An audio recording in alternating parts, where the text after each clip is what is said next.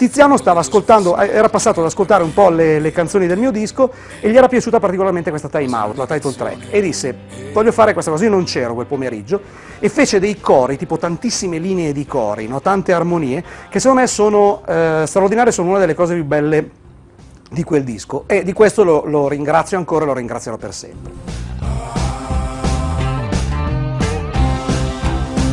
Io e Tiziano ci siamo conosciuti in, una, in un'occasione abbastanza particolare, eravamo uh, in una trasmissione a Domenica In, eh, un pomeriggio, ricordo che c'era anche un Inter-Roma o Roma-Inter perché era anche presente Antonello Venditti che stava seguendo la partita con particolare accoramento nella sala di regia dove hanno tutti i monitor. E Tiziano era appena uscito, credo con eh, Perdono, eh, con il primo singolo e eh, non era ancora conosciutissimo, era ai primi passaggi televisivi. Io mi avvicinai a lui perché avevo sentito questa canzone eh, in radio, mi era piaciuta da impazzire.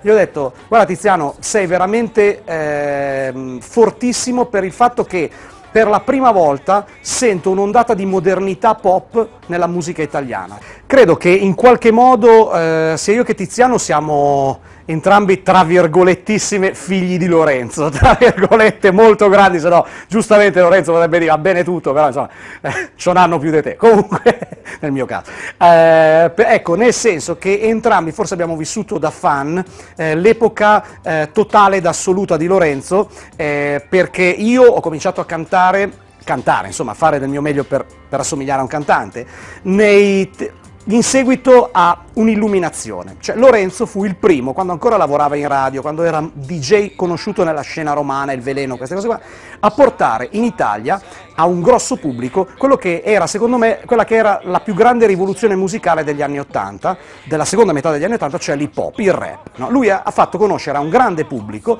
eh, il rap, quindi la musica nera che veniva fatta dai non musicisti. Eh, c'era una canzone dei Public Enemy che diceva questa frase, Run DMC first said a DJ could be a band. No? I Run DMC per, prima, per, per primi hanno detto che un DJ può essere una band, cioè un giradischi, un campionatore, degli strumenti non tradizionali possono permettere di fare musica se solo hai qualcosa da dire e hai voglia di farlo. Io di fronte a questa illuminazione ho cominciato a fare musica. Rock non è sinonimo di buono a confronto di tutto il resto che è negativo. Io sono convinto che eh, ci sia una grande dignità anche nel pop. Eh, non vedo questa, eh, diciamo, eh, questa, dicotomia tra rock e pop, per cui il rock è comunque eh, la musica dei grandi valori della rivoluzione, dei cambiamenti sociali ed epocali e il pop invece solo un prodotto ben confezionato fatto per vendere nelle classifiche.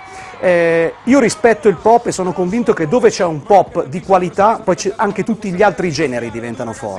E credo che questo accomuni particolarmente me e Tiziano Ferro. Sia io che Tiziano abbiamo vissuto quella che era la più grande rivoluzione musicale degli anni Ottanta, della seconda metà degli anni Ottanta, cioè l'hip hop, il rap. Io sono forse il lato, tra virgolette, più, eh, più rock, mentre Tiziano è partito dalla parte più, eh, forse, eh, nera, più, più, rap, più funky. Quindi eh, entrambi in qualche modo siamo figli di questa cosa e entrambi siamo fan. Credo che questo accomuni particolarmente me e Tiziano Ferro. Sono convinto che dove c'è un pop di qualità, poi anche tutti gli altri generi diventano forti. Si minchiate così, roba, se, se, se una cosa è utile io non la so come sta e il tuo sorriso spegne